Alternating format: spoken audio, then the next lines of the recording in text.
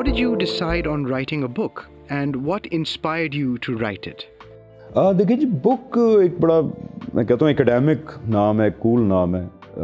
Basically that book is basically a document that I want to write because मैं हर जगह जहाँ जाता हूँ तो वहाँ पे ये सवाल आता है कि why do you believe in what you believe in now why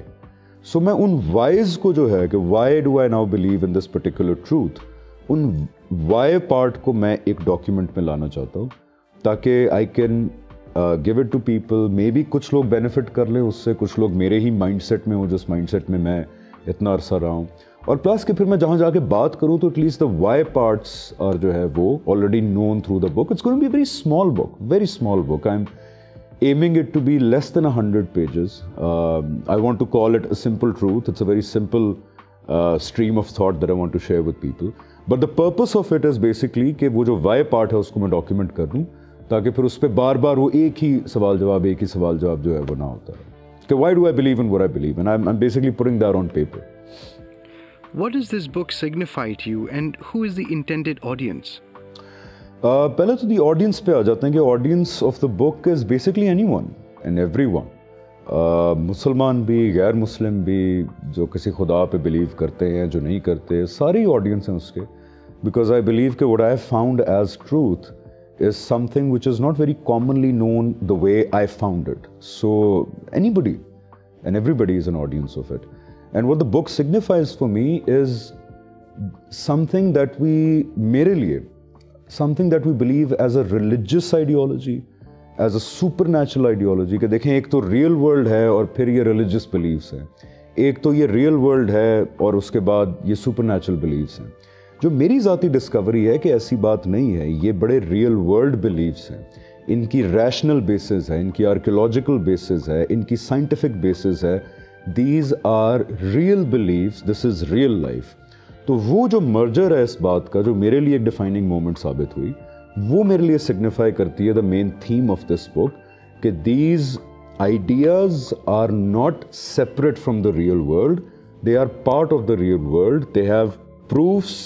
in our observed reality, they have rational basis in our observed reality और ये कोई आउटवर्डली सुपर नेचुरल बिलीव्स नहीं है ये हमारी रियल वर्ल्ड का हिस्सा है that's what the main theme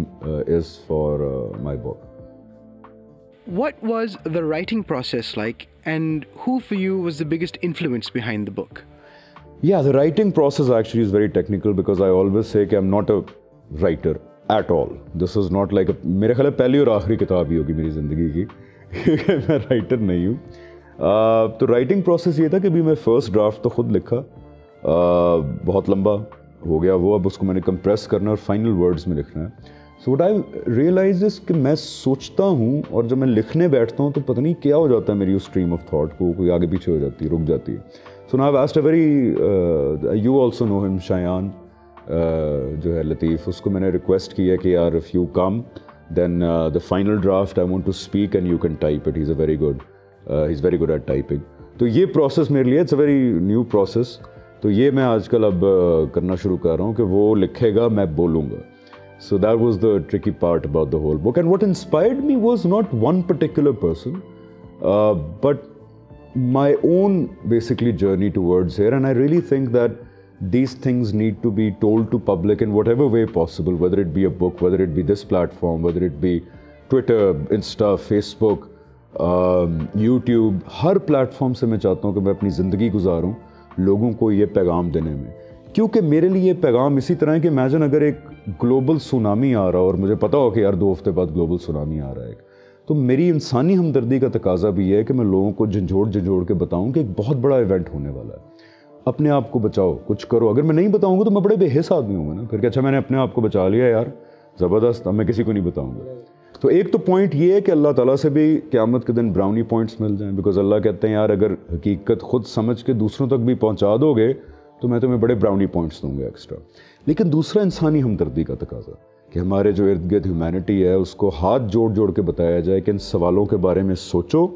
और जब डिस्कवर कर लो इतनी बड़ी हकीकत कि मुझे बनाने वाली एक एंटिटी है उसके सामने जवाबदेही होनी है। Judgement day is such a big concept कि I don't get it when people say they believe it and it doesn't translate into their life the prospects of eternal reward and punishment after Judgment Day for every word you said, for every intention you made, for every action you did. बहुत बड़ी बात है ये। तो बस मेरे लिए तो ये बुक उसी एक सिलसिले का हिस्सा है कि जिस जिस प्लेटफॉर्म से मैं लोगों तक ये बात पहुँचा सकता हूँ मैं पहुंचाऊं उसको। In the process of writing this book did you learn something that surprised you in the process of learning of of writing this book yes what surprised me was अभी करंटली अभी कुछ दिन पहले ही मैं बैठा था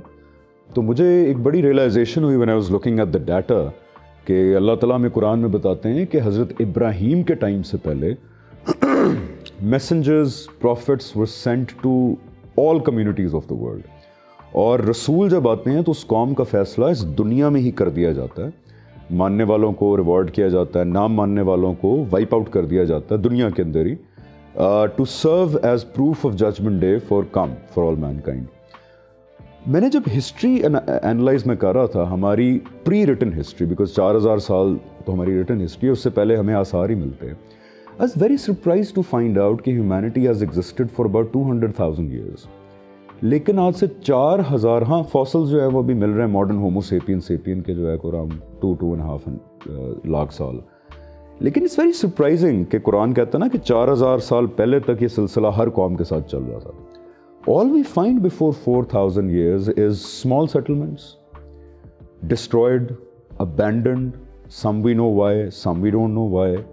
ये बड़ी प्रोफाउंड एक मुझे प्रूफ जो है मिला इस हकीकत का जो कुरान में बताएगी। बिकॉज़ वी नो कि कुरान में कि आफ्टर इब्राहिम सलाम का वक्त, इंसानियत को फैलना था, उसको सिविलाइजेशंस बनना था एम्पायर्स बनना था। तो उसके बाद अल्लाह ताला ने नबूत और रसालत का सिलसिला हज़रत इब्राहिम की ब्लड लाइन में ही कर दिया, ताकि अब कौमें खड़ी की जाएँगी जो अल्लाह का पैगाम लेकर दुनिया में खड़ी होंगी। For anyone who wants to ponder into it या सी इट के क्या है। ये मेरे लिए बड़ी सरप्राइजिंग फाइंडिंग थी कि before four thousand years four and half thousand years and ninety five thousand years almost with the same brains with the same capabilities modern homo homo sapien sapien एक लाख पचानवे हज़ार साल तक ऐसे लगता था एक बॉटल नेक जो क्रॉस नहीं हो पा रहा। स्मॉल सेटलमेंट्स ट्राइबल सेटलमेंट्स बहुत भी हो गई तो एक लाख बंदे से कम। तो ये मेरी एक बड़ी डिस्कवरी थी कि how are pre written history के आसार Are backing what this entity और being God is saying in his